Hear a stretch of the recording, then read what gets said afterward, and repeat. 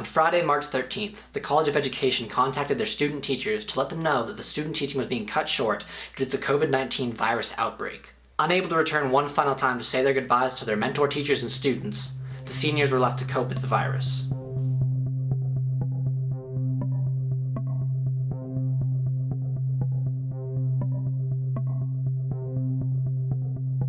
First of all, uh, do you still feel prepared to go on teaching uh, in the future, despite the fact that you had to cut your student teaching short?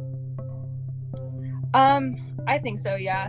Um, I learned a lot in like the eight weeks or so I was there, but um, I'm still in a lot of contact with my mentor teacher now.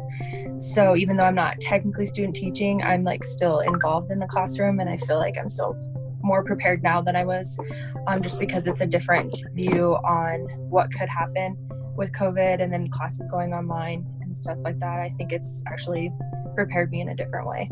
The seniors still needed to finish their Ed TPA, their final assessment before graduating. The Ed TPA encompasses everything they learned in their four years in the program and tests their ability to teach in the classroom.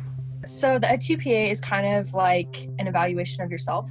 Hmm. Um, in a way, it's kind of that I think that's the best way to put it. Is in a it's a teaching assessment essentially. So um, you go through and you plan your unit or you plan three days worth of class, um, and then from there you record one of those classes and you have an assessment at the end of this unit or the end of those three days.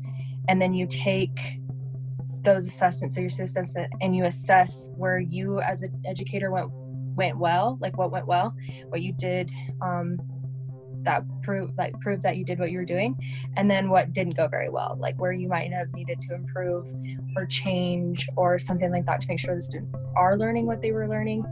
Um, and it's just kind of going in like a very deep description um, for people who aren't educators, like specifically for me, people who aren't English educators, and giving them an idea of like what you did for three days, how you assess that, and then how you're going to maybe make that lesson better or change your future um, teachings to match what you missed um, during that those like three days. For more information, visit the original article on the Branding Iron website. The link is in the description below.